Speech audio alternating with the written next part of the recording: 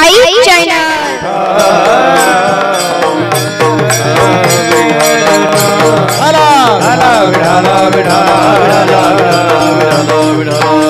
पवित्र तो देह पवित्र तो देह वाणी पुण्यवंत जो वदे अच्युत सर्व काळ तयाच्या चिंतने तरतील दोषी जळतील राशी पातकांच्या. देव इच्छिर चरणीची माती धावत चालती मागे मागे. काय त्या उरले वेगळे अनेक. वैकुंठ नायक जया कंठी तयाच्या चिंतने तरतील दोषी जळतील राशी पातकांच्या. तुका म्हणे देव भक्तांचा संगम. तुका म्हणे देव भक्तांचा संगम तेथे ओघनाम त्रिवेणीचा. तयाच्या चिंतने तरतील दोषी जळतील राशी पातकांच्या. जयांचे केली स्मरण होय सकळ विद्यांचे अधिकरण तेची वंदू श्री चरण श्री सद्गुरूंचे ते नमस्कारुणी आता पांडुरंग करू प्रथम पांडुरंग करू प्रथम बाबाजी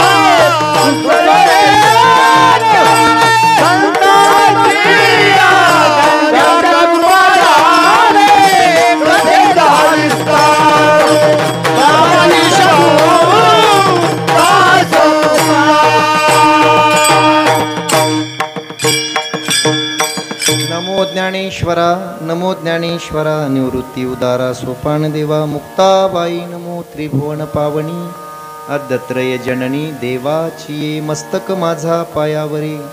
या वारकरी संतांच्या पवित्र तो देह पवित्र तो देह वाणी पुण्यवंतती जो वदे अच्युत सर्व काळ तयाच्या चिंतने तरतील दोषी. जळतील राशी पातकांच्या. प्राप्त प्रस्तुत. संत महंतांच्या पदस्पर्शाने पुनीत झालेलं हे आश्रम. माऊलींच्या नामचिंतनाने पवित्र झालेलं हे ग्रहस्थ आश्रम. माऊली सदन. मौजे किनगाव तालुका अहमदपूर जिल्हा लातूर. या पवित्र पुण्यवान अशा भूमीमध्ये एका पवित्र माऊलीचा अखंड आयुष्यभराचा प्रवास अजून संपलेला नाही. ती माणसं मरूनही जिवंत असतात आणि काही माणसं जिवंत असूनही मेलेली असतात. अर्थात ज्याच्या मुखात परमात्म्याचं नामचिंतन नाही ती माणसं जिवंत असून सुद्धा मेलेलीच आहेत. साडेसातशे वर्षापूर्वी सुद्धा माझे ज्ञानोबाराय होऊन गेले. आजही घराघरात त्यांची पूजा होते. ज्यांची पूजा होते ज्यांचं नाव उच्चारलं जातं ज्यांचं नाम कुणाच्या तरी मुखात असतं ती माणसं आजही जिवंत आहेत. हे सर्व तुम्ही संत मायबाप तुमच्या चरणावर सानम्र भावाने हा माथा टेकतो सेवेकडे वळतो ती माणसं आजही जिवंत आहेत. आणि माणसाने मरून सुद्धा जिवंत असलं पाहिजे. काय केल्यास जिवंत होतं? आणि काय केल्यानंतर मृत्यू होतो माणसाचा?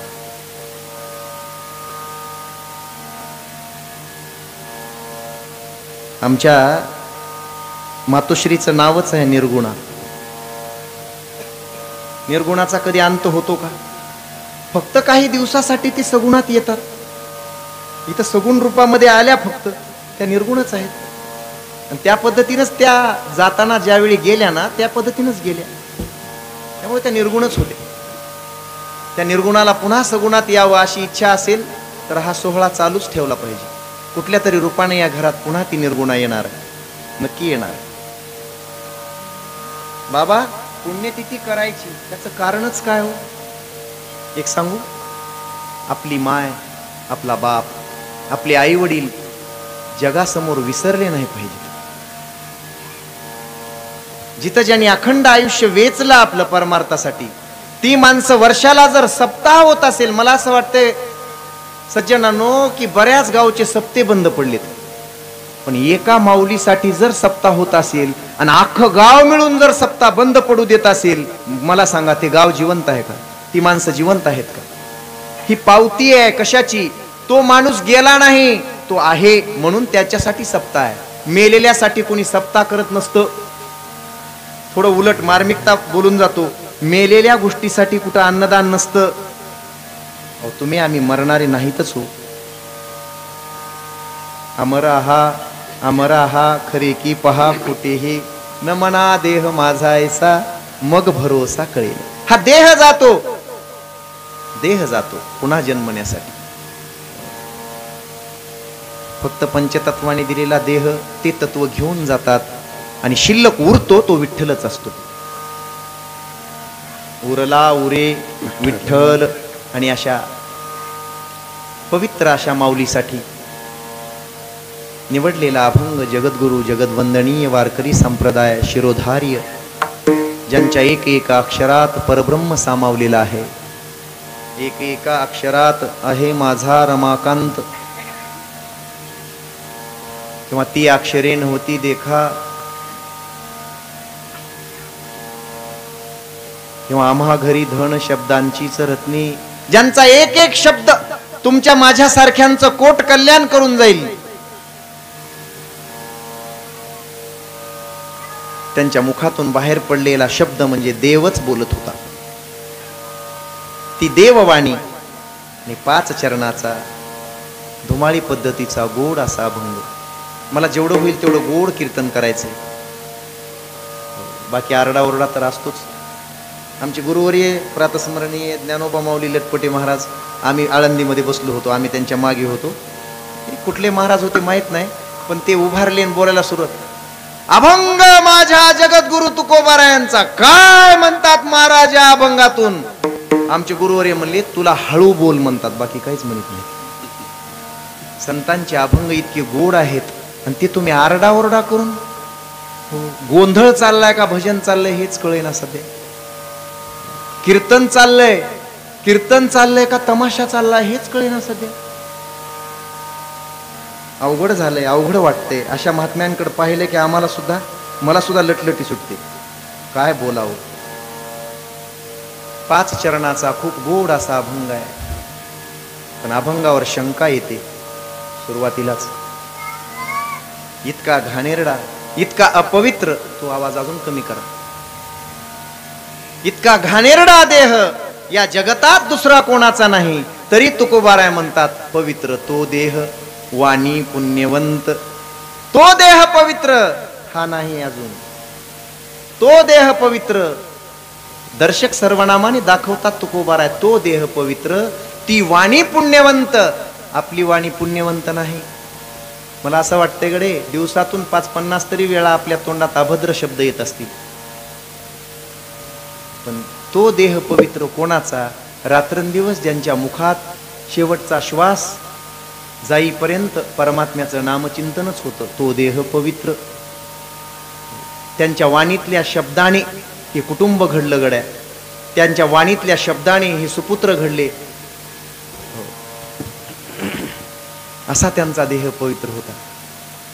तिकडं निर्देश करून तुकोबाराय बोलतात पवित्र तो देह देहाला पवित्र करता येतं नक्कीच करता येतं.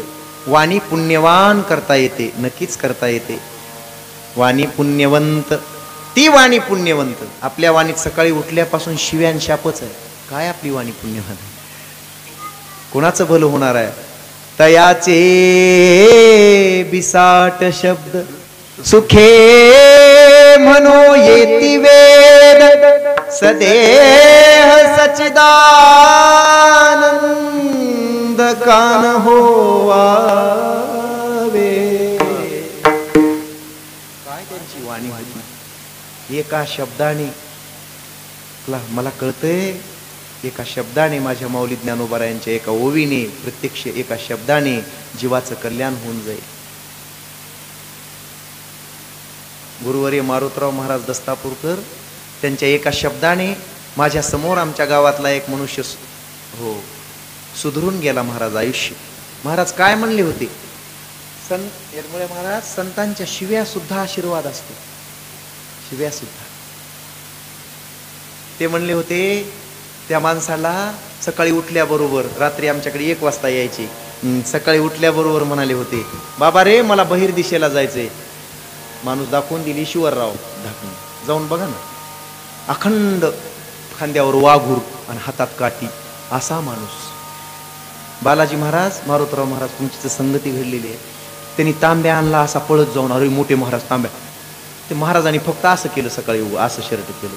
गळ्यात काय नाही गाठलं होतं काळा दोरा. ते म्हणले महा तुझ्या गळ्यात माळ नाही का? ते म्हणला नाही. महाराज माळ कधीच नाही. बापदाद्यापासून आमच्या गळ्यात कधीच तुळशीची माळ नाही. महाराज म्हणले ते तांब्या धरला आणि भिताडावर मारला. त्या भिंतीवर मारल्याबरोबर म्हणले सरक बाजूला. ज्याच्या गळ्यात माळ नाही त्याच्यासारख्याच्या हातचं पाणी मी बाहेर जायला सुद्धा घेत नसतो सरक. तो माणूस जागेवर बसला शहाणा होता. जागेवर असाच बसला महाराज माळ घातल्याशिवाय उठणारच नाही. गळ्यात माळ टाकली कोट कल्याण झालंय त्या माणसाचं. त्यांची शिव्या सुद्धा आशीर्वाद असतो ऐकता गोष्टी परमार्थ पोटी दूर परमार्थ पोटी दृढावे परमार्थ पोटी दृढावे सदजान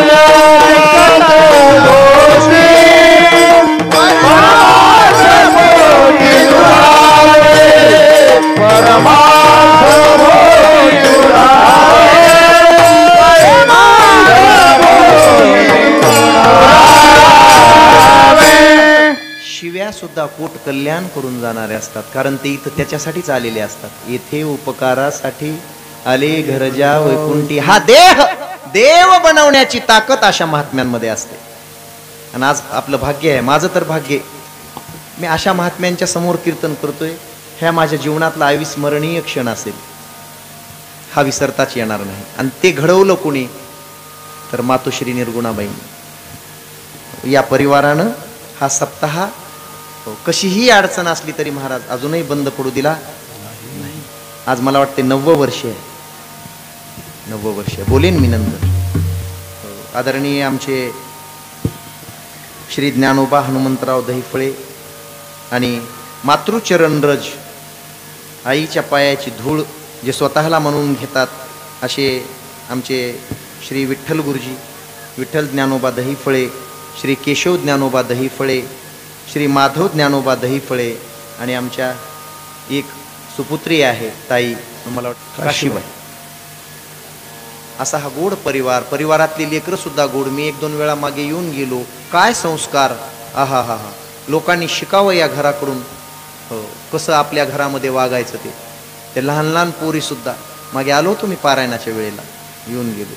इतका गोड परिवार. म्हणूनच तुकोबाराय म्हटले असतील की बाबा त्यांच्या मुखातले शब्द हे इतके गोड होते इतके पवित्र होते.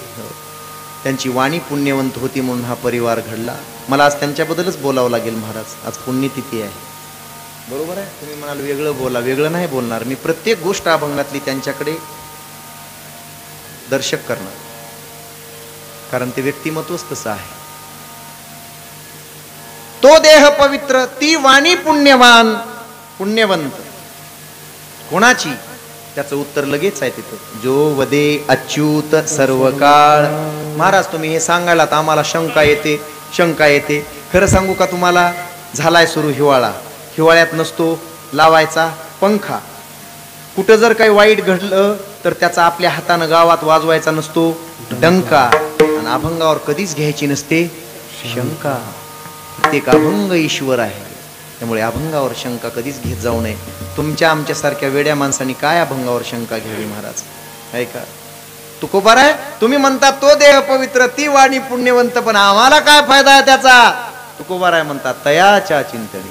तर तील दोषी ज्याची वाणी पुण्यवंत आहे ज्याचा देह पवित्र आहे जोपर्यंत तो आमच्यासमोर शरीराने आहे तोपर्यंत त्याचं दर्शन आम्हाला पुण्यवान करतं. आणि ते गेल्यानंतर त्यांच्या नावाचा जप केला तरीही तो आम्हाला पुण्यवान करतो.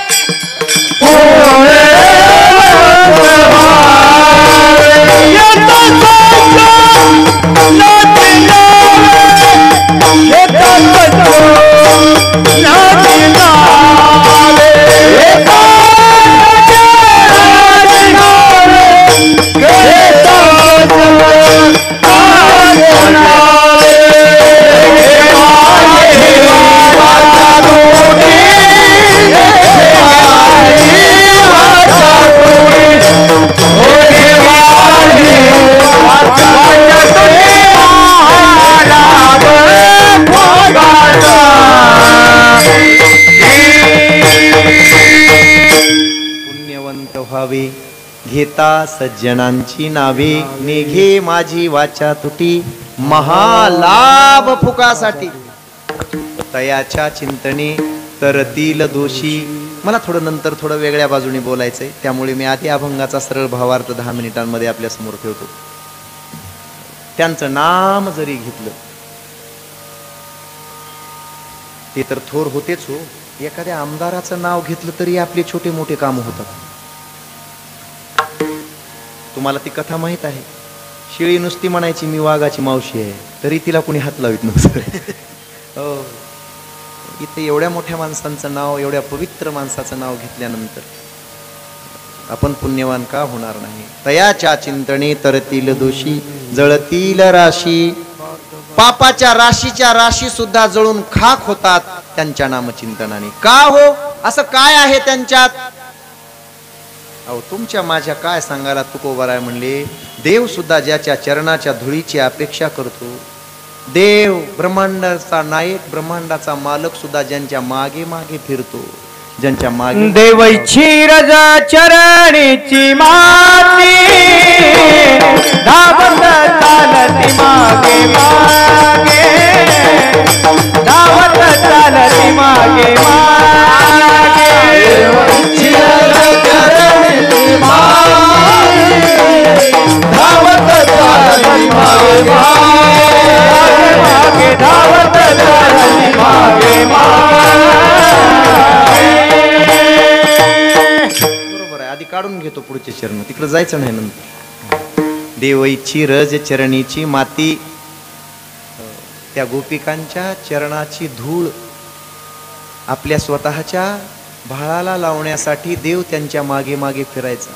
दृष्टांत सगळ्यांना माहीत आहे. देव म्हणाले एक दिवस नारदा फार डोकं दुखतंय रे. फार डोकं दुखतंय. मग काय करावं लागेल देवा? काय नाही नारदा औषध दुसरं कुठलंच लागू पडत नाही. माझे जे भक्त आहेत त्यांच्या पायाची चरणधूळ जर मी माझ्या कपाळाला लावली तर माझं डोकं नक्की राहील. नक्की राहील. इतकी पवित्र आहे रे ती धूळ. ते औषध आहे रे फार मोठं. फार मोठं. तुमचे भक्त इतरत्र कशाला शोधायचे देवा? सोळा हजार एकशे आठ ते भक्तच आहेत ना तुमचे. गेले नारद मागायला सगळ्यांकडे सगळ्यांनी नकार दिला. आमच्या पायाची धुळण कुठं? देवाच्या कपाळाला लावायची असते का? आम्ही त्यांच्या पटराण्या आहोत राण्या आहोत. नारद म्हणले आता मुख्य आठ राण्यांकडे जातो. त्या राण्यांकडे नारदजी गेले पण त्यांनी सांगितलं आमच्या चरणाची धूळ घेऊन देवाच्या डोक्याला लावण्या इतपत आम्ही त्यांच्या भक्त आहोत का? हाच शक म्हणजे हीच शंका आहे. नारदजी गेले नंतर गोपिकांकडे गेले. गोपिकांकडे जाऊन त्यांना म्हणाले पण एक एक प्रश्न होता त्याच्यामध्ये. काही गडबडीमध्ये एक प्रश्न होता. असा होता की जो कोणी देवाच्या डोक्यासाठी देणारा औषध पायाची धूळ देईल त्याला नरकात बुडावं लागेल. या आठ राण्याला सांगितलं माय ऐका. तुम्ही जर चरणाची धूळ दिली देवानी जर ती कपाळाला लावली त्यांचं डोकं राहील. पण जो कोणी असा धूळ देणारा आहे चरणाची धूल रजकन देणार आहे. त्याला मात्र अखंड नरकात पचावं लागेल. सगळ्या राण्या नाही माय म्हणल्या मग तसं असल्यास नको. तसं असल्यास आम्ही नरकात कशाला जाऊ? डोकं राहील आजचं उद्या. आणि तेच नारदजी उठले गोपिकांकडे गेले. बा पहा त्या गोपिकांचा भाव. गोपिकांना नारदजी म्हणाले ऐका तुम्ही देवाच्या भक्त आहात श्रीकृष्ण परमात्म्याच्या. हो काय शंका आहे त्यात नारदजी? ते म्हणाले की देवाचं डोकं फार दुखतंय. तुमच्या पायाची धूळ मला पाहिजे. ती लावल्याशिवाय देव म्हणतायत माझं डोकं कमी होऊ शकत नाही दुखायचं. द्या आपण एक लक्षात ठेवा एक अट आहे. ती धूळ जर तुम्ही दिली आणि मी जर नेऊन डोक्याला लावली देवाच्या देवाचं डोकं कमी होईल पण अखंड तुम्हाला नरकात पचावं लागेल. त्या म्हणल्या मग तरी एका पायावर तयार आहोत. देवासाठी जर नरकात पचावं लागत असेल एका पायावर तयार आहोत. आणि त्या गोपिकांनी धूळ दिली. देवाचं डोकं राहिलं. इतका ज्यांचा भाव असतो इतका ज्यांचा ईश्वराप्रती भाव असतो देव त्यांच्या मागे मागे फिरतो. देवईची रजचरणीची माती धावत चालती मागे मागे. एवढे माणसं इथे येऊन बसायला तिथपर्यंत रस्त्यावर बसायला वेडे नाहीत. हो, देवाला सुद्धा ज्या माऊलीची अपेक्षा होती. प्रत्यक्ष देव आहे महाराज. महाराजांच्या रूपाने संत आहेत तिथं माझ्या रूपाने पंत आहेत. जिथं देव असतो जिथं भक्त असतात जिथं नाम असतं तिथं देवाला यावंच लागतं. ऐका. म्हणून देव सुद्धा ज्याच्या चरणाची इच्छा करतो धुळीची इच्छा करतो त्यांच्या मागे मागे धावतो असे अनेक भक्त आहेत. मग असं अशी जर ती पवित्र झालेली आणि ज्यांची वाणी पुण्यवंत आहे देव जर मागे मागे धावत असेल तर मला असं वाटतंय गड्या की त्या देवामध्ये त्या संतामध्ये काही अंतर उरलाच नाही. काय त्या उरले वेगळे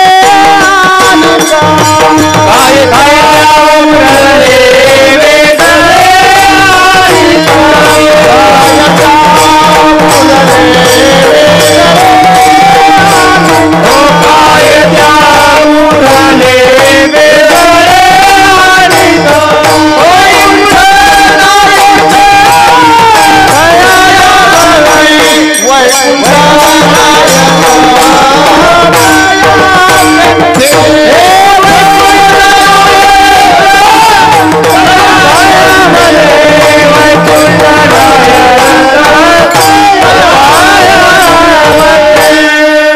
शेवटचं चरण राहू द्या.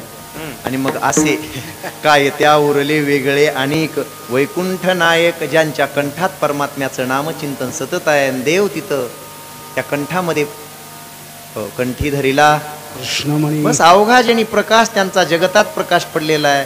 मग असे भक्त जिथं असतात आणि त्या भक्ताच्या मुखातून निघणारी ही नामाची गंगा जिथे वाहत असते तिथे देवाला यावं लागतं. तुका म्हणे देव भक्ताचा संगम तेथे ओघनाम त्रिवेणीचा. त्रिवेणी संगमावर जायची कुणालाच गरज नाही. अशा माऊलीचं अशा संतांचं माधव मामाचं मोतीराम महाराजांचं अशा संतांच्या नामा नामाने आपण ती गंगा इथं आणू शकतो.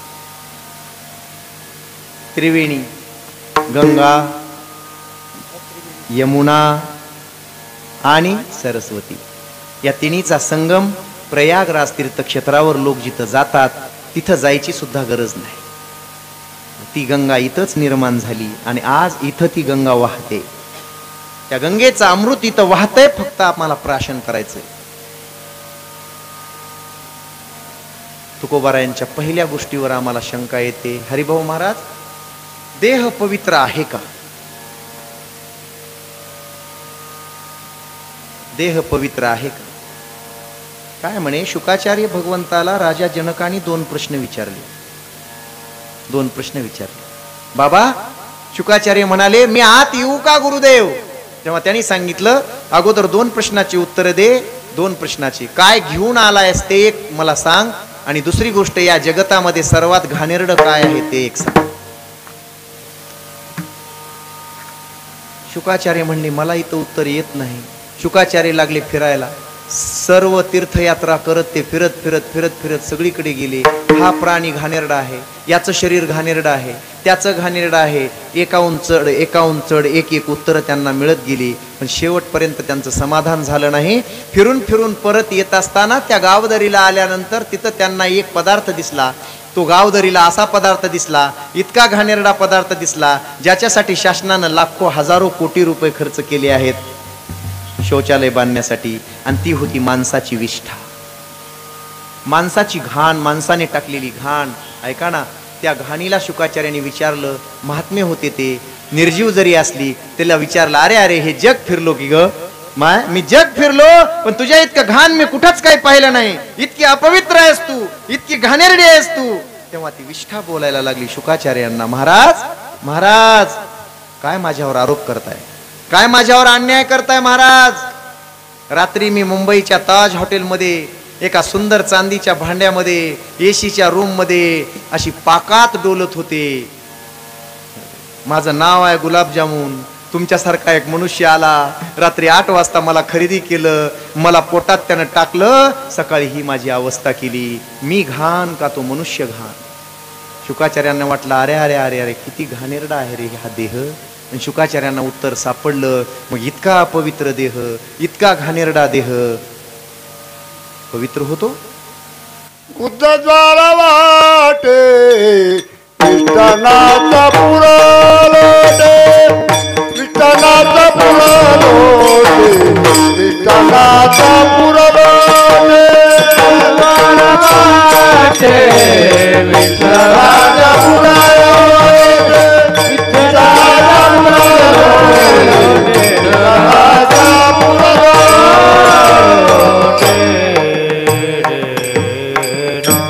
बुद्धद्वारा वाटे मिष्टान्नाचा पुर लोटे. स्थानात बीजात उपस्तंभात सेंदणाने निधनानीच इतका मंगळ देह आहे इतका मंगळ. या देहाला नऊ द्वार आहे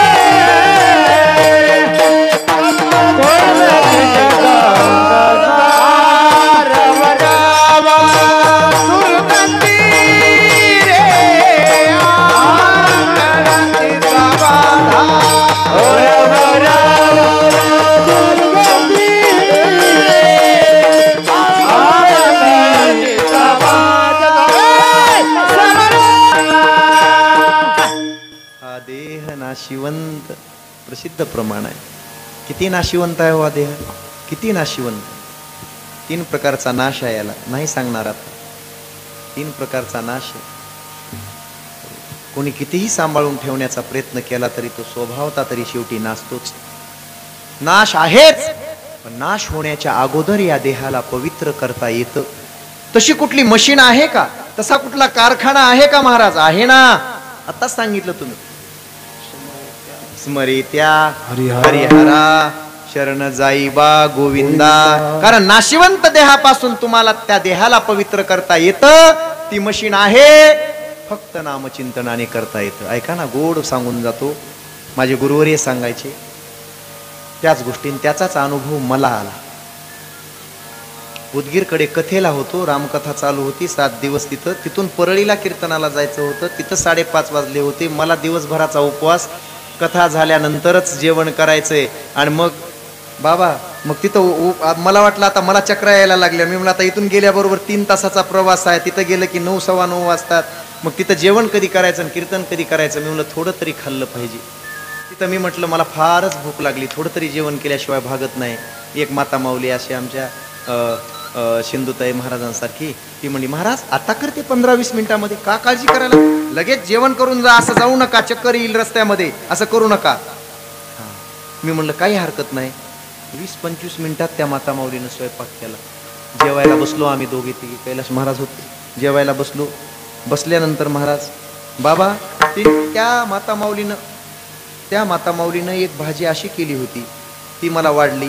जेवायला वाढल्यानंतर बाबा मी म्हणालो माय ही ही ही भाजी राहू द्या ही भाजी मला आणून द्या ना अजून एकदा. आणली ना तिने. हो काय होती ती मला नाही कळली. अशी अशी होती. पुन्हा एकदा मागवली तीनदा. भूक लागलेली होती. पुन्हा चारदा. चारदा मागितली आणि पुन्हा मी मलाच लाजलो. महाराज आहेस लाज वाटते का? चारदा चारदा भाजी मागून खा. चारदा चारदा मागतात का? एखाद्या वेळेस मागावी दोनदा मागावी. अरे चारदा मागितली. न राहुल्यानं पाचव्यांदाही मागितली. दोन अडीच भाकरी खाल्ल्या. आणि मी असं म्हणालो काय जेवण केलंय वा? काय भाजी केली आहे तुम्ही? माय माऊली इतकी सुंदर भाजी मी कधी खाल्ली नाही. म्हणून न लाजता चारदा पाचदा मी मागून खाल्ली तुम्हाला. फारच सुंदर भाजी आहे हो. ती म्हणली माय महाराज वीस आणि पंचवीस मिनिटात स्वयंपाक होत असतो का? हो. मी किती घाई घाईत केलाय मलाच माहीत पण तुम्हाला मला चांगलं जीव घालायचंय. तुम्ही नंतर इकडे कधी येणार आहेत मला फक्त सांगा आणि आताच सांगून जा तुम्हाला काय आवडतंय. खायला काय आवडतंय? मी म्हणलं मला बाकीचं सगळं आवडतंय मला पिठलं एक आवडत नाही. आणि मला मला कारलं एक आवडत नाही. मी कारलं जर माझ्यासमोर कुणी फोडलं तर मला वकाऱ्या येतात मला उलट्या येतात माय कारलं मला कधीच आवडत नाही. आवडलंही नाही. फार कडू असतं ते कारलं. ती माता माऊली म्हणाली हा भामट्याच दिसतोय. तिनं जरा बांगड्या माग सरल्या अशा. मला म्हणली गाला खालीच देईन मी म्हणलं माय असं का करायला तुम्ही? ती म्हणली महाराज लबाड कसे बोलायलात? मी म्हणलं काय झालं? कारलं आवडत नाही न वकारे येतात आता पाचदा पाचदा मागून खाल्लंस ते काय होतं? मी म्हणलं काय होतं? ती म्हणली कारलं होतं गावरान कारलं होतं. मी म्हणलं इतकं गोड? हो महाराज माझ्याकडे ती टेक्निक आहे. त्या कारल्याला बनवण्याची साधन सामुग्री आहे. पहिल्या माता माऊल्या होत्या माय. काय होत्या? नुसती तव्यावर अशी भाजी टाकली दोन मिनिटात खालीवरी केली. दोन दोन भाकरी खायची माणसं. आता चार चार भाज्या करायलेत. चार चार भाज्या. माझ्या बायकोला म्हणलं मी कालच. अगं म्हणलं चाळीस डबे आहेत मसाल्याची. डब्बेच्या डबे मसाला चव नाही कशाला. कशाला चव नाही महाराज कुठल्याच? काय माता माऊल्यांच्या हाताला चव होती पहिल्या? तिने सांगितलं महाराज याच्या चार पदार्थ मी टाक टाकते आणि त्याला वेगळ्या पद्धतीनं पाकशास्त्राचे संस्कार त्याच्यावर करते. मला सांगायचंय महाराज हे की एका कडू कारल्यावर जर पाकशास्त्राचे संस्कार तितक्या कडू कारल्यावर केल्यानंतर ते कारलं जर इतकं गोड होत असेल आणि आयुष्यात न खाणारा माणूस जर ते कारलं खात असेल तर या अपवित्र देहावर नामाचे संस्कार केल्यानंतर हा देह पवित्र का होणार नाही? माझ्या निर्गुणा मातेने फक्त नामाच्या संस्काराने नामाच्या फक्त संस्काराने त्या देहावर एवढे संस्कार केले कोणते संस्कार केले म्हणाल कोणते? नम शिवाय ओम नम शिवाय। नम शिवाय ओम नम शिवाय। हर हर भोले नम शिवाय। नम शिवाय नम शिवाय। नम शिवाय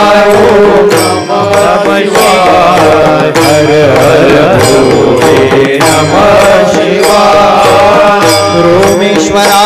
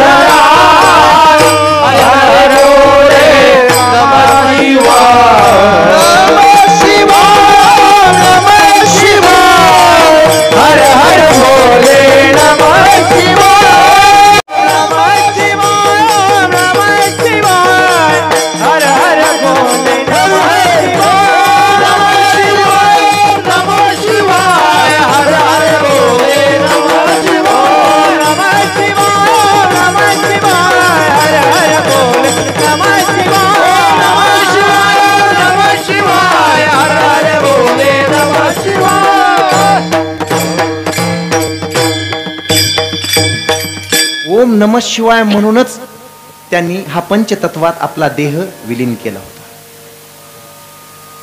जो इथला अधिष्ठान ग्रामदैवत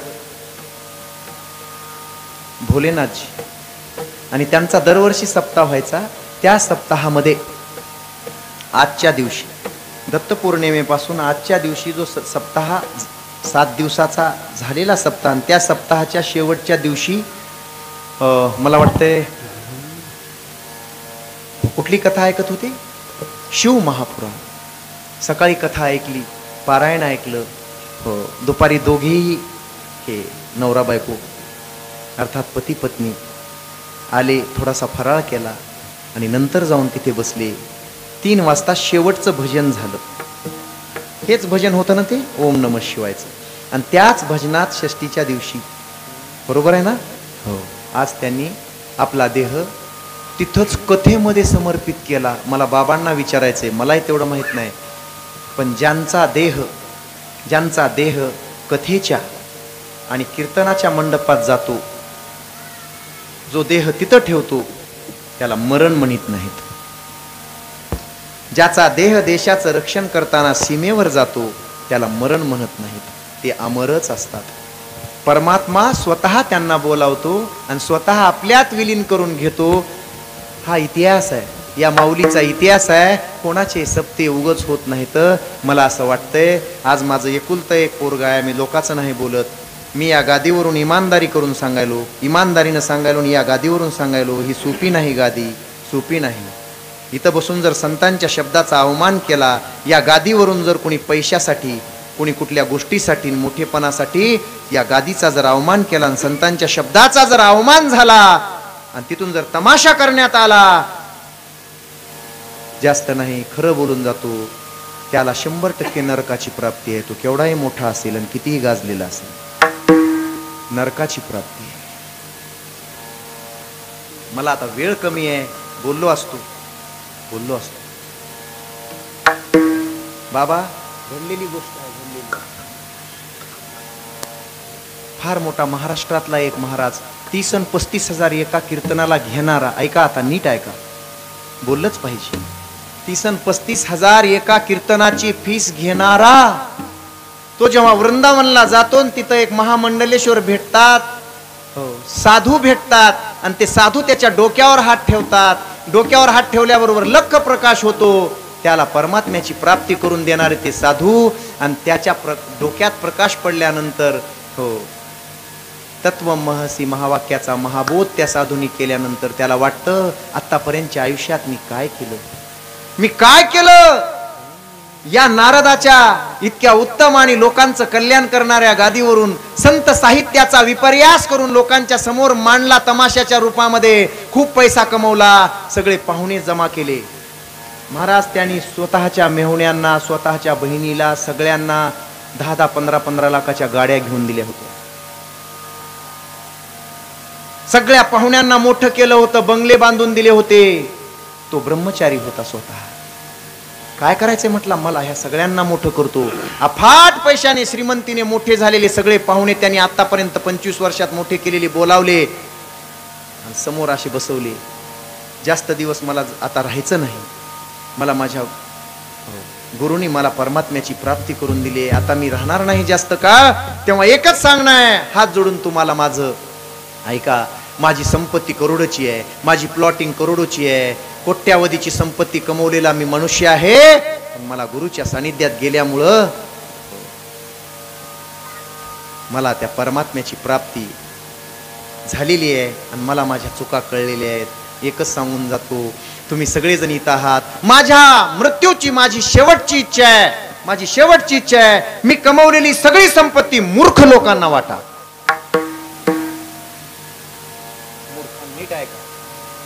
मूर्ख लोकांना वाटा. ते सोयरेदारी म्हणायला लागले काय बोलायलात महाराज तुम्ही? एवढे हुशार महाराज. पन्नास पन्नास हजार लोक तुमच्यापुढे बसतात कीर्तनाला आणि आम्हाला तुम्ही असं का म्हणालात बालभाऊ? ते बघा त्यांचं उत्तर कसं आहे ऐका ना. ते म्हणले आत्तापर्यंत वीस वर्षात वीस वर्षात या महाराष्ट्रातल्या मूर्ख लोकांनी माझं कीर्तन नसून तमाशा घेतला. मी त्या गादीचा अवमान केला आणि नुसते विनोद सांगून लोकांना रंजवलं.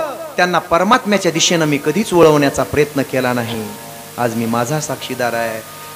मूर्ख लोकांनी मला पैसा दिला आणि मूर्खाची संपत्ती कधीच कुणाला सुख देत नाही. तो सगळा असलेला पैसा मूर्खांना वाटा. चांगल्या लोकांना वाटू नका.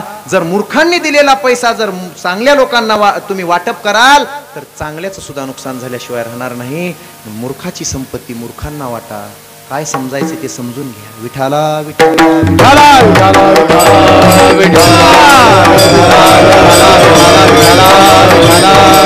अरे विठ या या जगाचा जर विचार केला तर सर्वात पवित्र या हिंदू धर्माने. या हिंदू धर्माने काय पवित्र मानलं? बाबा गाय पवित्र आहे. गाय पवित्र आहे. मी त्याच्यावर जास्त नाही बोलणार. गाय किती पवित्र आहे तेहतीस कोटी देवांचा वास गायीमध्ये आहे. गाडीवर जाणारा एखादा मनुष्य जर समोरून गाय आली तरी एक हात असा करून असं तरी केल्याशिवाय राहत नाही इतकी गाय पवित्र आहे. कदाचित आमच्यासारख्या महाराजांना असं करून दर्शन घेणार नाही पण गायीचं दर्शन घेतल्याशिवाय पुढे जाणार नाही. इतकी आता गायीचे फायदे मी तुम्हाला एक दिवसभर सांगत बसेल पण आता नाही ती वेळ. गाय पवित्र आहे. चला त्याच्या पुढे जाऊया. धातूच्या बाबतीत जर विचार केला तर सगळ्यात पवित्र सोनं आहे. सोनं घाणीत पडलं तरी उचलून घ्यावं इतकं ते पवित्र आहे. अंगावर सोन्याचे दागिने असतील सोन्याचे दागिने आणि त्याच्यावरून जर आपण स्नान केलं तर सुवर्ण स्नान घडतं या शरीराला. आणि ते उत्तम असतं. सोनं पवित्र आहे माय. सोनं घालीत जावं पण नवऱ्याला खुंदळू खुंदळू मारीत जावं आणि सोनं घालीत जावं असं नाही. सोन्याचे दागिने घालून कधी कुणाचा संसार सुखाचा होत नसतो. सोन्याचे दागिने घालून संसार सुखाचा कधीच होत नसतो. सुखाचा दागिना घालून संसार मात्र सोन्यासारखा होत असतो. विठाला विठाला विठाला.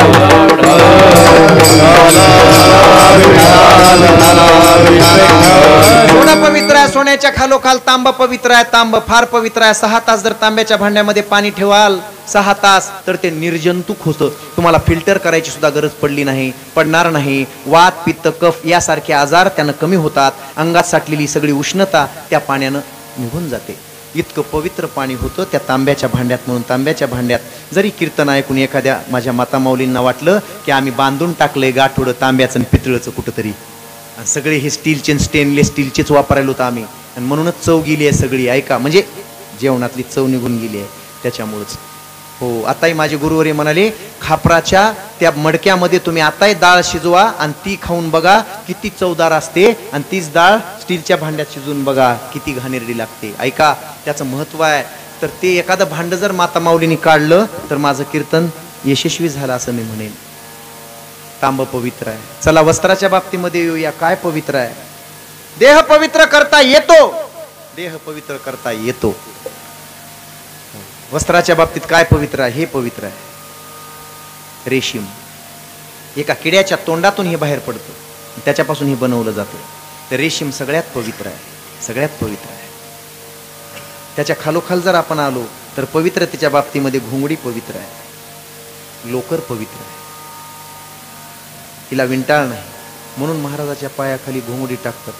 महाराज कुठून कुठून आलेला असेल आणि आपल्या या पवित्र ठिकाणी आलेला असेल जरी विटाळ वगैरे काही असेल तर तो होणार नाही म्हणून घोंगडीवरच उभा करतात महाराज. लोकांना लक्षात ठेवा. त्याच्या मनात कसलाही विटाळ असेल तर तो निघून जातो. घोंगडी पवित्र आहे. चला. त्याच्यानंतर जर विचार केला आपण विचार केला तर सगळ्यात पवित्र सुगंधी द्रव्याच्या बाबतीमध्ये कस्तुरी पवित्र आहे. कस्तुरी सगळ्यात पवित्र आहे. सोनं पन्नास रुपये तोळा आहे. कस्तुरी दोन लाख तीस हजार रुपये तोळा आहे. खरी कस्तुरी. कस्तुरी मृगाच्या बेंबीतून निघालेली ती खरी कस्तुरी दोन लाख तीस हजार रुपये तोळा आहे. ती खरी मिळतच नाही आपल्याला. आपण हे ही आप उगा त्या पंढरपूरच्या मंदिराच्या समोर काही बाया बसतात. कस्तुरी घ्या. कशी आहे मावशी? दोनशे रुपये तोळा आहे. त्या अस्तुऱ्या आम्हाला कस्तुऱ्या विकित्यात दोनशे रुपये तोळा? खोटा असते ते सगळं. दोन लाख तीस हज़ार रुपये तोळा आहे. म्हणे, असं बाबा, हा देश इतका संपन्न होता. हा देश इतका संपन्न होता, या देशात कस्तुरीचे सडे टाकले जात होते हो. कस्तुरीचे सडे टाकले जहाँ डाल डाल पर सोने की चिड़िया करती है बसेरा, ओ भारत देश है मेरा, ओ भारत देश है मेरा। ये धरती जहाँ ऋषि मुनि जपते प्रभु नाम की माला, जपते प्रभु नाम की माला। जहाँ हर बालक एक मोहन है और राधा हर एक बाला। राधा हरिक बाला जहाँ सत्य अहिंसा और धर्म का पग पग लगता डेरा। ओ भारत देश है मेरा ओ भारत देश है मेरा।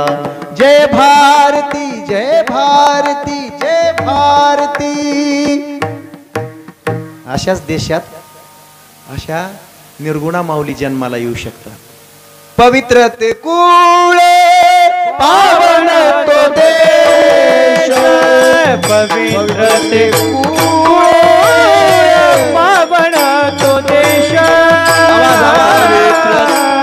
जय हरिचे दास जन्म घेती जन्म घेती जय हरिचे दास जन्म घेती पवित्र तो जय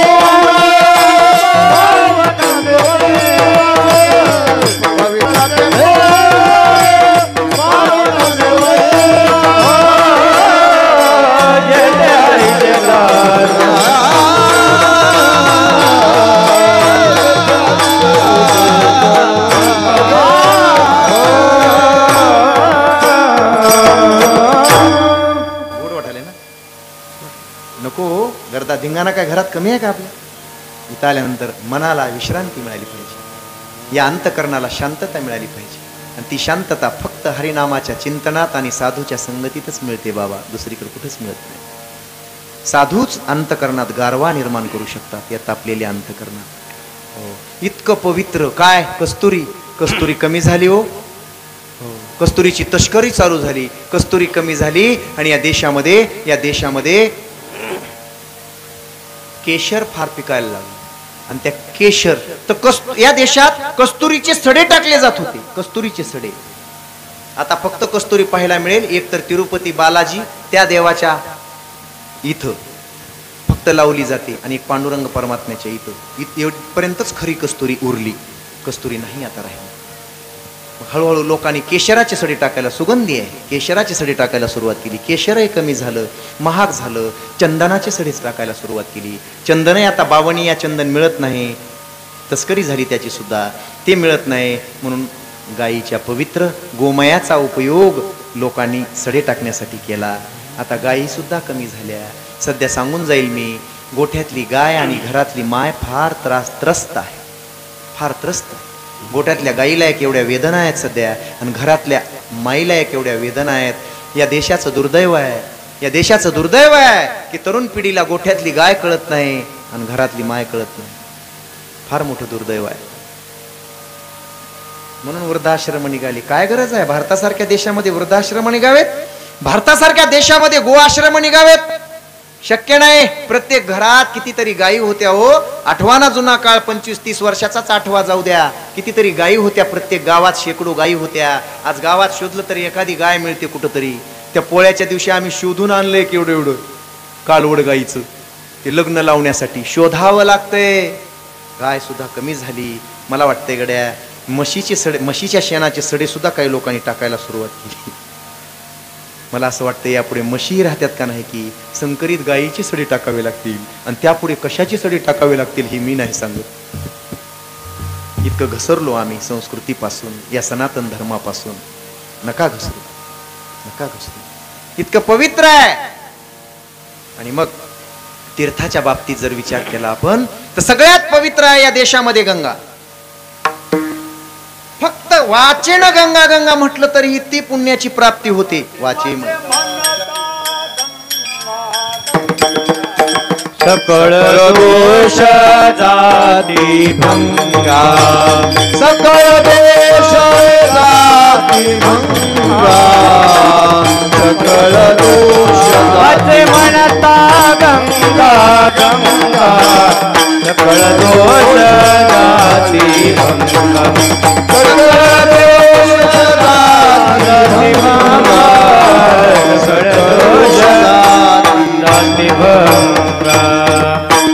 फक्त वाचेन गंगा गंगा म्हटला तरीही गंगेच्या स्नानाचं पुण्य मिळेल. इतकी पवित्र तिच्या नामात इतकी पुण्य आहे. प्रत्यक्ष जरी दर्शन नाही झालं स्नान नाही झालं तरी इतकी पुण्य आहे. तीन वाजून वीस मिनिटाला हे करायचंय पण अगोदर हो ते वाटून घ्या. गुलाल उधळायची वेळ आहे तीन वाजून वीस मिनिटाची. बरोबर अजून वीस मिनिटं शिल्लक आहे. तेवढ्यात मला भाव सांगू द्या. वाचन गंगा गंगा म्हटलं तरी पुण्याची प्राप्ती होते. आणि त्या गंगेला जाण्यासाठी माणसं आयुष्यभर झगडतात. एकदा तरी गंगेचं स्नान झालं पाहिजे. एकदा तरी प्रयागराज तीर्थक्षेत्रावर आपण गेलो पाहिजे म्हणून लोक पूर्वीपासून या देशातले लोक गंगा मातेच्या स्नानाला जातात. पण समोर बसलेल्या माझ्या सर्व सर्व या देशातल्या सु सुज्ञान नागरिकांना विचारतो मी जर गंगा एवढी पवित्र आहे तर आज पंतप्रधान मोदी साहेबांना गंगा शुद्धीकरणासाठी पन्नास हजार कोटी रुपये का द्यावे लागतात? की गंगा पवित्र आहेच गंगा पवित्र होतीच पण आता गंगा एवढी अपवित्र कशानं झाली? गंगेची गटार झाली. त्याला कारण आहे लोकांची पापच एवढी वाढली. मायबापच जर तुमची माझी काशी असेल बरं का? तर त्या मायबापांना एवढा त्रास आपण आपल्या घरामध्ये देतो आणि वृद्धाश्रमामध्ये नेऊन टाकतो. मग किती पाप आहे ना आपण किती गंगेला स्नान केलं म्हणजे ती पाप धुवून जातील. ऐका ना त्या गंगा यमुना आणि सरस्वती एकेवेळी फार पूर्वीचा काळ आहे आणि त्या काळामध्ये दिंडीरवनाच्या ठिकाणी आल्या. चंद्रभागा माय माऊलींच्या त्या न चंद्रभागा मातेच्या त्या पवित्र वाळवंटामध्ये आल्या. आणि तीच वेळ होती. कुठली वेळ होती? भाऊजी ती वेळ होती ज्यावेळी एक असा कुपुत्र नाही म्हणता येणार त्याला पण माता पित्याच्या आज्ञेत नसणारा त्यांच्या मायबापांची इच्छा होती कुणाच्या? पुंडलिकाच्या. पुंडलिक नावाचा एक युवक होता एक तरुण होता आणि त्याच्या मायबापाची इच्छा होती की लोक म्हणतात साधू संत म्हणतात एकदा तरी गंगेला जाऊन यावं एकदा तरी काशीला जाऊन यावं. त्यांची इच्छा आहे म्हणून मायबाप म्हणतात पुंडलिका आम्ही आता फार सत्तर ऐंशी वर्षाचे झालोत. आम्हाला एकदा तरी तू आमचा सुपुत्र आहेस. ऐक ना तू एकदा तरी आम्हाला आमच्यासोबत ये आणि आम्हाला गंगेचं दर्शन घडव गंगेचं पवित्र स्नान आम्हाला झालं पाहिजे रे. एकदा तरी काशीला जाता आलं पाहिजे रे. पुंडलिकाची बायको तिथंच उभा होती. तिने सांगितलं म्हातारा म्हातारीला काही कामधंदा नाही. आपल्याला अनेक कामं पडलेली आहेत.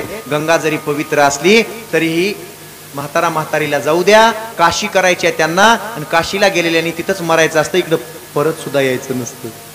ती म्हणाली तेव्हा म्हातारा म्हातारी दोघेही पुंडलिकाचे आई वडील निघाले. चार दिवस झाले दादा. चार दिवसानंतर महाराजांचं कीर्तन झालं. बापूदेव महाराजांसारख्या एका महात्म्याचं कीर्तन झालं आणि त्या बाईनं ऐकलं आणि तिला वाटलं महाराज इतके गाजलेले महाराज इतके चांगले महाराज जर असं सांगत असतील तर मी का करू नये? लगेच घरी आली. आपल्या पतीला म्हणाली मालक माझा एक हट्टा आहे. मला तुम्ही काशीला नेलं पाहिजे. पवित्र गंगेचं स्नान मला करायचंय. तर बायको हट्ट आहे. स्त्री हट्ट आहे. पुरवावा लागला. पुंडलिक लगेच निघाले. असं म्हणतात पुंडलिकानं बायको खांद्यावर घेतली आणि मायबाप मात्र चालत निघाले. तेव्हा एकच पुंडलिक होता. मला असा असं वाटतंय गडे आता. आता ऐका न ऐका. हा? पटलं तर घ्या. कारण खऱ्या गोष्टी माणूस पटवून घ्यायला फार मोठं अंतकरण लागतं. बाबा आताच्या काळात मी असं सांगेन शहरात तर असं झालंय. बायकोचं झेंडूबाम लावून डोकं झेपणारे मी असं म्हणत नाही की बायकोचं डोकं दाबू नका दुखत तिच्याशिवाय तिला तुमच्याशिवाय तरी कोण आहे? पण मायबापाला तिकडे बाहेर काढून तुम्ही बायकोचं डोकं दाबत बसतात बायकोच्या हातपाय दाबत बसतात. ही संस्कृती निर्माण झालीकडे म्हणून बोलावं लागतंय. आणि बायकोच्या हट्टापायी तो निघाला पुंडलिक. दिंडीरवनातच त्याची भेट आपल्या माता पित्याशी झाली. त्याच दिवशी रात्री तो विचारात पडला हो मायबाप जर काशी असतील तर मला काशीला जायची काय गरज आहे? विचार बदलला त्याचा आणि मायबापाबद्दल थोडा कृतज्ञता भाव निर्माण झाला. ऐका ना सज्जन हो. आणि तेवढ्यामध्ये त्याला रात्र झाली. रात्रीचे बारा साडेबारा वाजले. आणि साडेबारा वाजता तिथे तीन बाया आल्या. तीन स्त्रिया आल्या. तीन स्त्रिया आल्या. त्या काळ्या काळ्या कुट्ट होत्या. त्यांचे कपडे असे फाटल्यासारखे होते. फार मळकटलेले कपडे होते. आणि ते पाहून पुंडलिकाने दिवसा तिथं दिवस मावळण्याच्या आत पाहिलं होतं. अनेक ऋषीमुनींची आश्रम होती. त्या ते कुकुट मुनींचा आश्रम होता. त्या तिन्ही स्त्रिया कुकुट मुनींच्या आश्रमामध्ये गेल्या. आश्रमात गेल्या पुंडलिक बघतच बसला. अरे साधू माणूस ब्रह्मचारी माणूस याच्या आश्रमात स्त्रिया शिरल्या? ही रात्री साडेबारा वाजता? अवघड आहे. तिथंच बसून राहिला. थोडं झोप त्या कोटीच्या जवळ जाऊन त्यांना असा कान लावला. ऐकलं आवाज येत नव्हता. पुंडलिकानं मध्ये जाऊ शकला नाही. आणि त्या स्त्रिया पुंडलिका अशी विवंचना करत असताना पाहत असताना त्या स्त्रिया रात्री चार वाजता बाहेर पडल्या. बाहेर पडताना मला आमचे गुरुवर्य म्हणायचे की जसं आता लग्नामध्ये नवऱ्या नटलेल्या असतात ना तशा नटलेल्या नवऱ्या होऊन बाहेर पडल्या. इतक्या सुंदर त्याच स्त्रिया होत्या. त्याच साड्या होत्या त्यांच्या अंगावर आणि त्या स्त्रिया बाहेर पडल्या. जायभाई महाराज कुंडलिकाला राहिलंच नाही म्हणला साधूची झोपडी तुम्ही हो. त्या साधूचं नाव लौकिक केवढं ब्रह्मचारी साधून तुम्हाला लाज वाटत नाहीत? कोण आहेत तुम्ही? पुढे जाऊन पुंडलिक उभारला. हे इतके मोठे साधू आहेत. तुम्हाला लाज कशी वाटली नाही आज जाण्याची? हा? कोण आहेत तुम्ही? तिने सांगितलं मी गंगा आहे. तिने सांगितलं मी यमुना आहे. तिने सांगितलं मी सरस्वती आहे. इथं कशाला आलात? तिथून इथं कशाला आलात? ती म्हणली पुंडलिका तुझ्यासारखी अनेक पापी या देशात फार वाढलीत. आणि ती पापी दररोज येऊन आमच्यात स्नान करतात. त्यांना वाटतं पाप जाईल. ही शारीरिक पाप काही पाप तुमच्यासारख्याचा आम्ही घेतो आम्ही इतक्या मलिन होतो मळून जातो अशुद्ध होतो. आणि ती अशुद्धता दिवसभराची घालविण्यासाठी रात्रीच्या वेळेला कुठल्या तरी साधूच्या पायाचा आश्रय आम्हाला करावा लागतो. साधूच्या जवळ जाऊन साधूची सेवा एक दोन तास केली. साधूची सेवा केली की आम्ही पुन्हा पूर्ववत होतो. जशा होतो तशा अशा स्मार्ट होऊन बाहेर पडतो. स्मार्ट होऊन बाहेर पडतो. काय साधूच्या सेवेचं फळ आहे? मला एक म्हणायचं गड्या ऐका. गोड सिस्टीम आहे तुमची हा? गोड गोड. ऐका. बालाजी महाराज ज्या गंगा यमुना सरस्वती तुमच्या माझ्यासारखींची पाप जर तिथं जाऊन जात असतील आणि त्या तीर्थांना जर तीर्थांना जर पवित्र करण्याचं ठिकाण कुठलं असेल तर ती साधूची सेवा असेल. तर असं काय आहे त्या साधूमध्ये? साधूच्या पायाची सेवा केल्यामुळे आम्ही पवित्र होतो. आम्ही नाही गंगेसारखे तीर्थ पवित्र होतात. तीर्थे गंगे हुनी थोर साधू सुचिष्मंत गंगा त्याचे संके गंगा त्याचे गंगे हुनी थोर साधू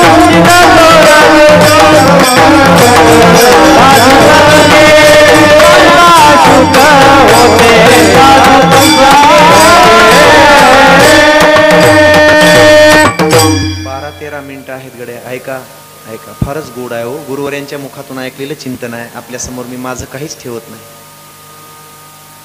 गंगेला पवित्र होण्यासाठी जर साधू जवळ यायत यावं लागत असेल तर किती पवित्र असतील होते साधू?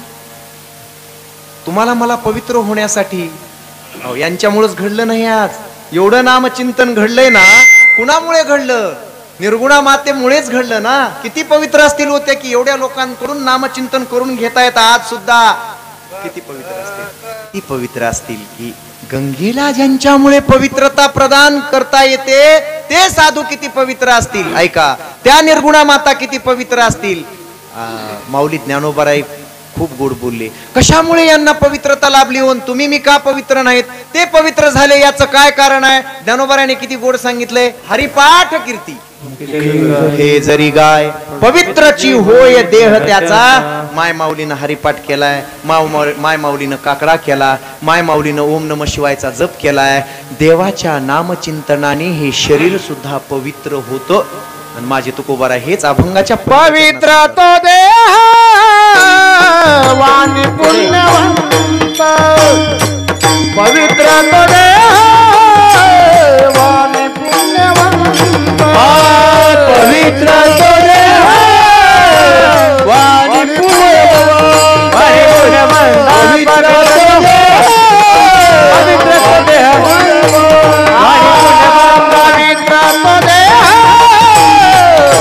वाणी पुण्यवंत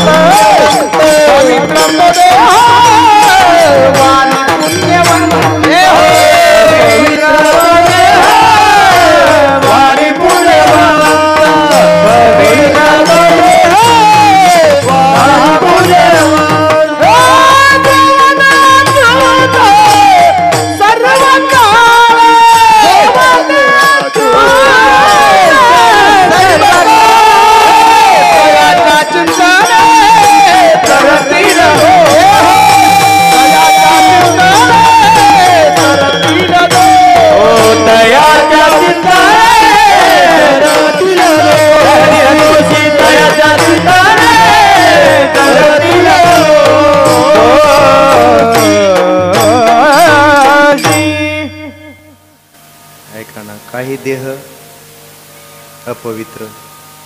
वाणी सुद्धा अपवित्र. काही दे काहींचा देह पवित्र वाणी अपवित्र. काहींची वाणी पवित्र देह अपवित्र.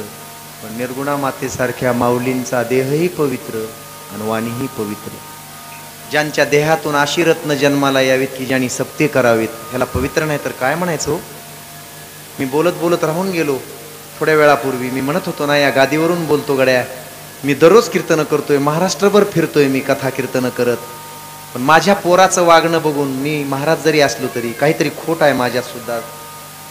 गुरुवरी काहीतरी मला असं वाटतंय मी अजून कधी मला वाटतंय मी माणूस तरी व्हावा या संप्रदायात येऊन या जीव जीवनामध्ये. माणसाचं माणूस बनवण्याचा कारखाना हीच गादी आहे. आणि हे हाच संप्रदाय आहे दुसरा जगाच्या पाठीवर दुसरा संप्रदाय माणूस बनवण्याचा नाही. नाहीच. कशी माणसं आहेत ही विठ्ठल गुरुजीसारखी? सहवास घडलाय आम्हाला. मला असं वाटतंय माझा सप्ताह काय मी हजारो कीर्तनं करून आणि हजारो कथा करून माझा मुलगा खरं सांगतो मी खरं सांगतो माझा मुलगा माझं गोड जेवण तरी घालतो का नाही की याची मला शक शंका आहे. इमानदारीनं बोलायला.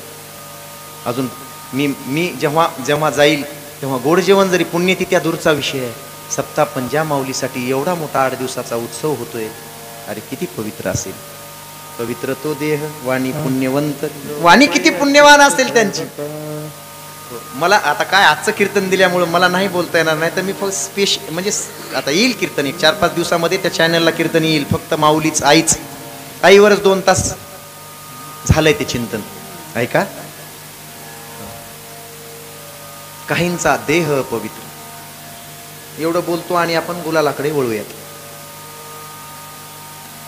वाणी मात्र अपवित्र. काहींची वाणी पवित्र देह अपवित्र. काहींची वाणी अपवित्र देहही अपवित्र. आणि काहींचा देहही पवित्र वाणीही पुण्यवंत. वर्ग पहिला. या रामायणामध्ये देह अपवित्र वाणी पुण्यवंत. रामायणामध्ये अरण्यकांडामध्ये शरभंग नावाचे ऋषी रामचंद्र भगवान त्या चौदा वर्षाच्या काळामध्ये सगळ्यांचं मंगल करत जात होते. सगळ्यांचं मंगल भलं करत जात होते. सगळ्या साधू कुळांना ऐंशी ऐंशी हजार वर्षापासून तपश्चर्या करणाऱ्या साधू कुळांना भेटी देत होते आणि तेवढ्यात एके दिवशी जाऊन पोहोचले शरभंग ऋषीच्या आश्रमात. आश्रमात गेल्यानंतर बाहेरच थबकले आणि थांबले. आणि थांबल्यानंतर बाबा एवढा गोड आवाज आणि एवढ्या गोड गोड वेदाच्या रुच्या त्यांना ऐकायला मिळाल्या. रामचंद्र असेच बसले एक दीड तास. माझंही तेवढं भाग्य आहे हो आज. मला एक सांगा ज्याला दोन अभंगावर चिंतन करता येत नाही आमच्यासारखे महाराज आमच्या कीर्तनाला बसत नाहीत समोर. त्याचं कीर्तन आहे का? आपण बसत नसतो. कीर्तनाला टाळ घेऊन उभारू शकत नाहीत. केवढं मोठं भाग्य आहे की यांनाच म्हणायचं महात्म्य की दोन तास इथं बसून काय गरज आहे हो? आम्ही बसावं त्यांच्या कीर्तनाला त्यांनी नाही. एकदा गोड टाळ्या वाजवता का? सगळ्यांनी नाही वाजवल्या. मी गुरुवर्य बापूदेव महाराजांसाठी टाळ्या वाजवायला सांगितल्या तुम्हाला. मला एकदाच माहीत आहे आमच्याकडे मला वाटते माझ्या मामानीच कीर्तन घेतलं होतं. मामानी साडेतीन का चार हजार रुपये पॉकेटात भरले होते. महाराजांनी त्याच्यातले दीड का दोन हजार रुपये वापस दिले आणि गाडीला किती लागते तर? एवढेच लागते. गाडीचे तेवढे घेतले बाकीचे वापस दिले. अरे अरे अरे अरे. म्हणून मगवाचा मुद्दा बोललो मी. उगच बोललो नाही महाराज. हो. आम्हाला शंभर रुपये जर कमी आले तर आम्ही तिथं शिवावर जाऊन फोन करतो. नाही तर गाडी वापस. अरे अरे अरे. म्हणूनच वाटतंय हो मी माणूस तरी बनावं. मी माणूस तरी बनावं वारकरी संप्रदायात येऊन. संत नाही बनू शकत. किती जन्म घ्यावे लागतील माहीत नाही. संत बनणं. ऐका ना शरभंग ऋषीच्या आश्रमात पोहोचलेले रामचंद्र दोन तास तिथं थांबून त्यांच्यावर त्या गोड अशा वेदांच्या रुच्या वेगवेगळ्या रागात ऐकत होते. पण लक्ष्मणजी मात्र असं नाक धरून उभा होता. दादा उठा. रोग होईल. किती घाणेरडा वास येतोय. तुम्ही काय बसला तिथं? रामचंद्र म्हणले काय झालं? वास येतो रे लक्ष्मणा पण किती गोड गायन आहे. काय ऋषा गाता हे ऋषी?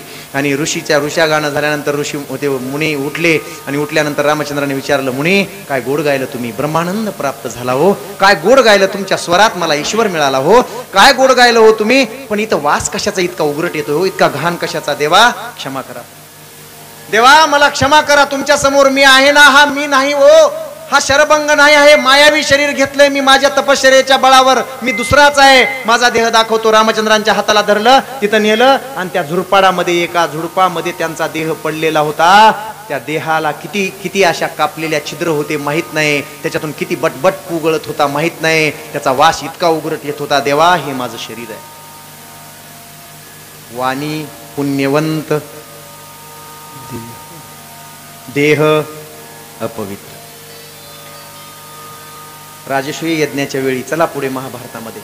राजसूय यज्ञाच्या वेळी हा यज्ञ पूर्ण व्हायचा असेल तर हे अर्जुना भीमा हे धर्मा एक साधू जेवायचा राहिलाय प्रसाद घ्यायचा. तो जेवल्याशिवाय हा यज्ञ पूर्ण होऊ शकत नाही. नाही होऊ शकत त्याचं फळ नाही मिळू शकत तुम्हाला. कोण आहे साधू? भीम म्हणाला मी उचलून आणतो त्याला आता. गंधमादन पर्वतावर राहणारे गंधमादन ऋषी आहेत. चला त्याच्याकडे भीम गेला. भीम देवासोबत गेला. मला जरा घाई आहे आता. आणि भीम तिथं गेल्यानंतर ते पाहिलं त्या ऋषीकडे पाहिलं. देवा हे ऋषी आहेत का? हो. देव गेले देवाने नमस्कार केला त्या ऋषींना आणि विचारलं हो ऋषीवर तुम्ही जेवल्याशिवाय यज्ञ सांग होणार नाही. चला ना आमच्यासोबत. चला. तेव्हा भीमानेही आमंत्रण दिलं चला पण भीमाला आश्चर्य वाटलं. देवा काय इथपर्यंत मला घेऊन आलात? काय ये ऋषी? हो. देवा मला आश्चर्य वाटतं हो या ऋषीचं सगळं शरीर सोन्याचं आहे. सगळं शरीर सोन्याचं आहे आणि तोंड डुकराचं. त्याच्या पूर्वी इतिहास घडला होता म्हणून भीमाला सोबत नेलं होतं हे ना? भीमाला सोबत भीम काय करायचा? त्या राजस्वी यज्ञात रोज हजार ब्राह्मणांना पंगत दिली जायची. हजार ब्राह्मणांना पंचपक्वान दिले जायचे आणि भीमाना अशी गदा घ्यायची. गदा आणि त्या ब्राह्मणांना म्हणायचं ए कधी मिळालं का खायला इतकं सुंदर? भारतातली एक नंबरची पंगत आहे. इतकं सुंदर भारतात सुद्धा जेवायला मिळत नाही. हा इतकंही राहिलं. इतकं नीट खायचं. घरी मिळतंय का? नीट खायचं नीट जेवायचं. नाहीतर ही गदा आहे. रोज ते ब्राह्मण देवाकडे आले. भूदेव देव देवाकडे. देव म्हणाले तुम्ही इतके रोड अरे आलात तेव्हा तुम्ही ऐंशी ऐंशी किलोचे होतात आता साठ साठ किलोचे झालात दहा दिवसामध्ये असं काय झालं तुम्हाला? काही मिळत नाही का खायला? पंचपक्वानाच्या पंगती आहेत ते म्हणले. देव म्हणायला लागले हरिकृपा होता भक्ता निघती दोन दे अरे गाल टरबुजासारखे झाले पाहिजेत. इतकं खायला आहे आणि तुम्ही असे वाळून कसे चाललात? ते म्हणले देवा सगळं आहे हो पण चिंता आहे माग. कशाची? ते भीम बघा ना देवा. म्हणून भीमाला घेतलं. भीमाला दाखवलं आणि ते भीमानं न राहिल्यानं देव म्हणले चला ऋषीनं आशीर्वाद दिला. तिथूनच त्यांनी सांगितलं मी तिथं येऊ शकत नाही माझं असलं तोंड घेऊन. तुम्ही जा इथूनच मी आशीर्वाद देतो. तुमचा यज्ञ सांग होईल पण भीमाला न राहिलं नाही. कैलाश महाराज ते भीमनं भीमाने काय केलं? देव तिथपर्यंत गेले. देवा साहेब तिथपर्यंत गेले देव की भीम वापस फिरला. उगच उगच त्याला खवळीलं. उगच त्या ऋषीला खाजविलं. मला सांगा की कशानं तुमचं तोंड असं झालंय? शरीर एवढं सोन्याचं आहे ते म्हणला काय नाही आता काय सांगू? जाऊ दे बाबा माझं पाप आहे माझं पूर्व रोकर आहे राहू दे माझ्यासोबत तू जा. ते मला नाही नाही मला सांगितल्याशिवाय मी जाणारच नाही. देव गेलेत पुढं. मी नाही जाणार. सांगा ना मुने. त्या मुनीने सांगितलं मी म्हणले पूर्वी एक असा मोठा यज्ञ केला होता आणि पंचपक्वानाचं भोजन देत होतो त्या यज्ञात. पण मी केलेला यज्ञ भारतात कोणी आधी तसा यज्ञ केला नव्हता. मी पंगतीत फिरायचो असे हात बांधून आणि ब्राह्मणांना असं दटवायचो असा दाब द्यायचो. तुमच्या बापाच्या घरी कधी खायला मिळालं का असं? आतापर्यंत कधी खाल्लंय का असलं? हो, उष्ट ठेवायचं नाही. बघा! असं बोलायचो त्याचा परिणाम असा झाला. यज्ञाचं फळ मला मिळालं इथून खालचं शरीर माझं सोन्याचं झालं. तोंड मात्र डुकराचं झालं. काय बोलायचे आता पुढं? नाही कळलं? मी मला वाटलं मी हेच करतोय मलाही पुढचा जन्म असाच मिळायचा बघा देह पवित्र आहे पण वाणी अपवित्र आहे. गुरुजी? हो हो एक दोनच मिनटं बाकी आहेत. ऐका दोन मुद्दे शिल्लक ठेवतो बोलून जाईल. तेवढंच बोलायची मला आता दोन मिनिटाचं. या पर्व काळावर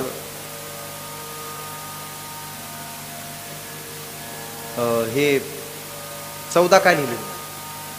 बर. सप्ताहाची सांगता असावी.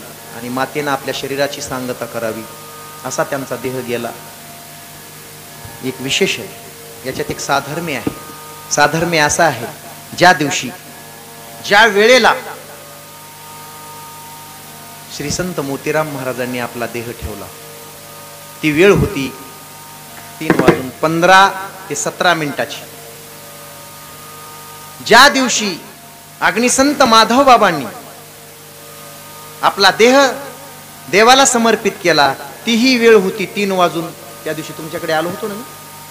कीर्तनाला त्या पुण्यतिथीच्या दिवशी. तीन वाजून वीस मिनिटाची. बघा योगायोग कसा आहे साधर्म्य कसं आहे. वार सुद्धा होता गुरुवार. मोतीराम महाराज गेले त्या तेव्हा तो वार होता गुरुवार. माधव बाबांचा वार होता गुरुवार. माऊलीने ज्या दिवशी देह ठेवला तो वारही होता गुरुवार. वेळही तीच होती. संतांच्या पंगतीत जाऊन बसली का राहिली? देहही पवित्र केला वाणीही पुण्यवंत झाली. ते फलित आज आम तुमच्या माझ्यासमोर आपण पाहतोय ते कौतुक. मला असं वाटतंय गडे विठ्ठल गुरुजी तुमची आई जर देवाजवळ बसून आता भजन करत असेल तिथं आणि त्या आईने जर असं असं असं फिरून जर बघितलं असं खाली किनगावमध्ये तुमच्या घराकडे असं फिरून जर बघितलं तर ती एकच म्हणत असेल कौतुक वाटे झाली या वेचाची. नाम मंगळाचे हे हा सप्ताह ती तिथं बसून बघत असेल नक्की नक्की नक्की. लोकांना याच्यावर विश्वास बसत नाही. पण दहा वर्षापूर्वी कुणीतरी मेलय फाशी घेऊन आणि ते घरात आमच्या सुख नांदू दिन आहे. म्हणजे ते घराकडे बघायला याच्यावर विश्वास बसतो हो. किती विचित्र आहे. ती माय माऊली तिथं बसून बघत असेल आणि म्हणून ती म्हणत असेल याजसाठी केला होता अट्टहास. शेवटचा दिस गोड व्हावा. अरे सगळं गोड झालं गोड झालं. आणि आता सगळ्यांनी सगळ्याच्या मुखातून एक अभंग बाहेर पडला पाहिजे. गुलालाच आम्ही जातो आता. तुम्ही कृपा सुद्या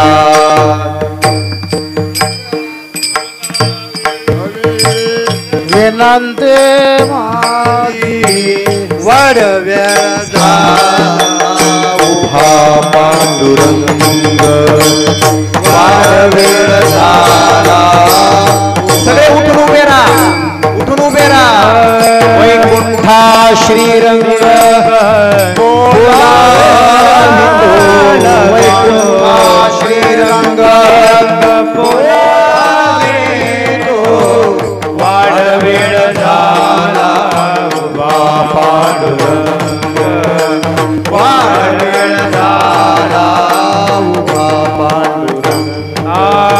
अंतकाळी वेठो आम्हासी पावला अंतकाळी विठो आमासी पावन आकुडी सहित झाला।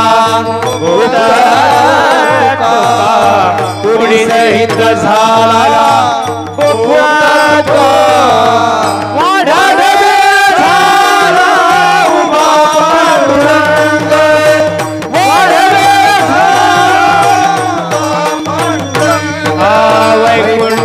वैकुंठा श्रीरंग श्रीरंग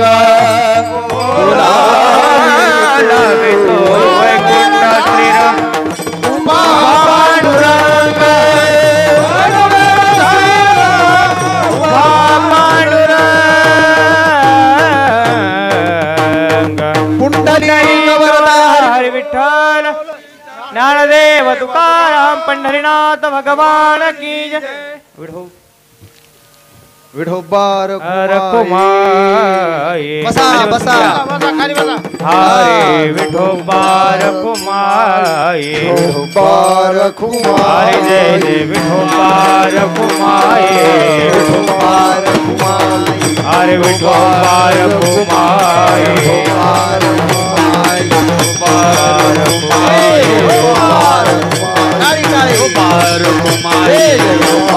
वा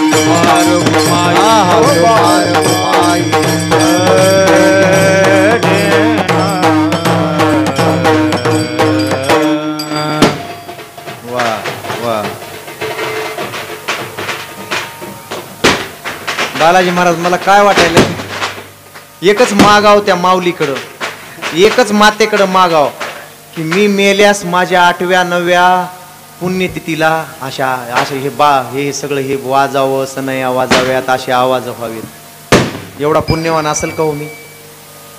इमानदारीनं तुम्हाला सुद्धा शपथ आहे. तुम्हाला तरी वाटतंय का हो आपला असा होईल सोहळा? होईल हो नक्की होईल पण जे त्या माऊलीने केलं ते करा. नक्की होईल का नाही होणार? हो. ज्ञानोबरायांचे सोहळे काय त्यांचे लेकर करीनात. ह्या सगळा महाराष्ट्र नाही सगळं जग त्यांचे लेकर आहेत. तुकोबरायांचे सोहळे माधव मामाचे सोहळे काय त्यांच्या घरच्यांनी केले का? सगळे जग त्यांचे लेकर आहेत. हे विश्वाची माझे घर हीच ही भावना झाली पाहिजे. तेव्हा जग आपले सोहळे करील यात शंका नाही. ऐका माझ्या दोन गोष्टी राहिल्या दोनच मिनिटाच्या. एवढ्या मांडतो थांबतो काल्याचा अभंग घेऊ आणि प्रसाद घेऊ. काल्याबद्दल आता बोलायचं नाही. झालंय पावणे दोन तास दोन तास कीर्त पावणे दोन तास झालंय. आणि अजून आरती सहित पंधरा मिनिट लागणार आहेत. वेळेत संपविले. काही नाही एक मिनिट तुमचा आगाव घेणार नाही. गुरुजींनी वेळ दिलता साडेतीनचा. साडेतीनला बरोबर संपलेला असेल सगळं. एक मिनिटही घेणार नाही. ऐका दोन झाले होते. वाणी पुण्यवंत देह अपवित्र. देह पवित्र वाणी अपवित्र. तिसरा वर्ग आहे. वाणीही अपवित्र आणि देहही अपवित्र. बाबा कोकणात चाललो होतो मी कीर्तनाला मुंबईकडं मुंबईकडं. ते समुद्रात काय ते कोळी लोक वगैरे मासेमारी करणारे ते बसनं प्रवास करत होतो तेव्हा.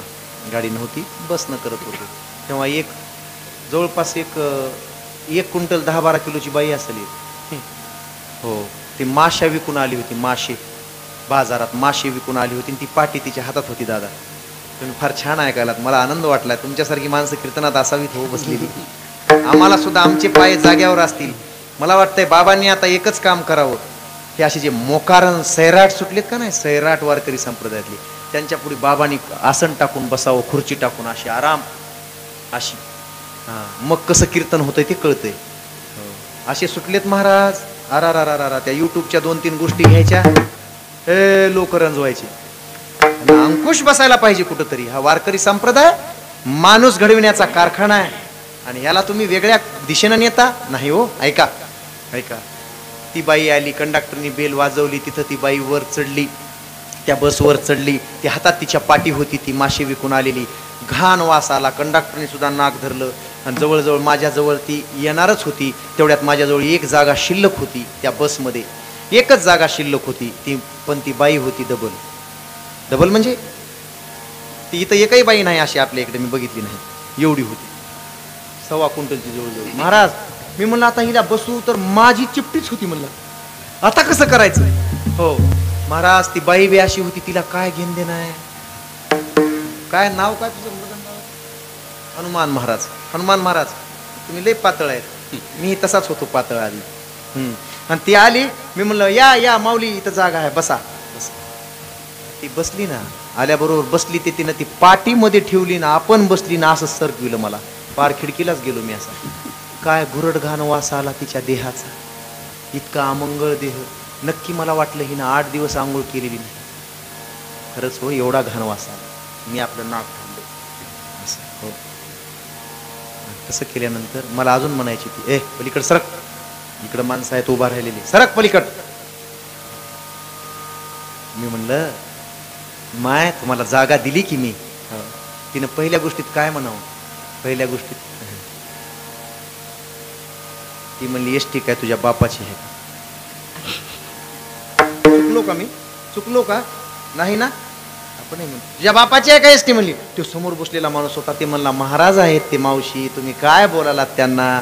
अहो ते महाराज आहेत कीर्तनकार आहे जरा नीट बोला त्यांनी तुम्हाला जागा दिली. ती बाई दुसऱ्या गोष्टीत म्हणली महाराज असला तर मला काय चुलीत घालायचं का? आता मला सांगा देह तरी पवित्र आहे का? आणि वाणी तरी पुण्यवंत आहे का? नाही देहही अपवित्र वाणीही. अहो कितीतरी लोक असे आहेत हो. देहही पवित्र नाही त्यांचा वाणीही पुण्यवंत नाही. आणि पुढे चला ज्यांचा देहही पवित्र आहे नामाच्या चिंतनाने ज्यांनी आपला हा कडू असणारा हो काम क्रोध लोभ मद मत्सर माया मोह अहंकाराने बरबटलेला देह नामाच्या संस्काराने पवित्र केला. आणि ही वाणी सुद्धा पवित्र केली. तैसे साचा आणि मवाळ मितुले आणि रसाळ. शब्द तैसे कल्लोळ अमृताचे. त्यांच्या मुखातला प्रत्येक शब्द अमृत आहे अशी ज्यांची वाणी झाली तो देह पवित्र. ती वाणी पुण्यवंत जो वदे अच्युत सर्व काळ आणि मग अशा अशा या पवित्र महात्म्यांचं ज्ञानोबारायांचं तुकोबारायांचं माधव मामांचं नाम जरी आपल्या मुखात आलं माता निर्गुणाबाईचं नाम जरी आपल्या मुखात आलं निश्चित या मुखाला निश्चित या वाणीला पवित्रता पुण्यवंतता लाभल्याशिवाय राहणार नाही तयाच्या चिंतने. तर तील दोषी पापाच्या राशी असलेले लोक सुद्धा त्यांच्या चिंतनाने तरुण जातात. ज्ञानेश्वर माऊ माऊली माऊली तुकाराम माऊली हरी जय ज्ञानेश्वर माऊली ज्ञानेश्वर माऊली. हरी जय ज्ञानेश्वर माऊली. ज्ञानेश्वर माऊली. टाळी टाळी टाळी टाळी ज्ञानेश्वर माऊली. जय ज्ञानेश्वर माऊली. जय ज्ञानेश्वर माऊली.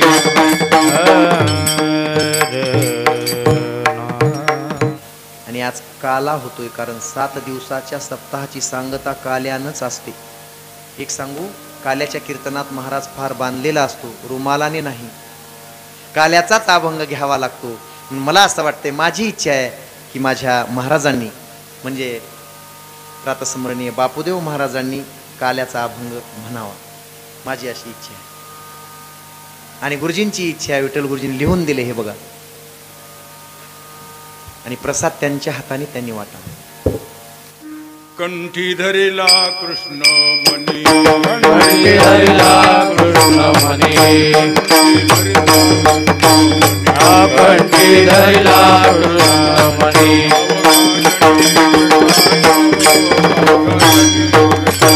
हरि अवघानी प्रकाश अवघानी प्रकाश अवघानी प्रकाश अवघानी प्रकाश आपकाला वाटो एक एका हरिकाला वाटो एक एका वैष्णवनिका संगम वैष्णवनिका वैष्णवनिका वैष्णवनिका सुरम वैष्णवनिका सुरम वाकुलिया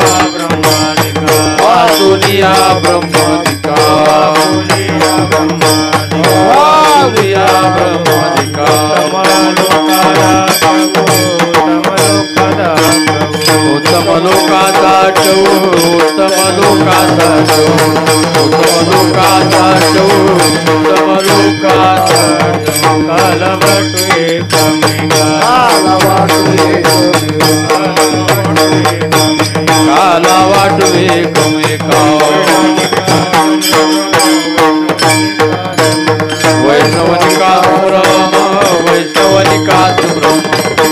वनिका सम्रम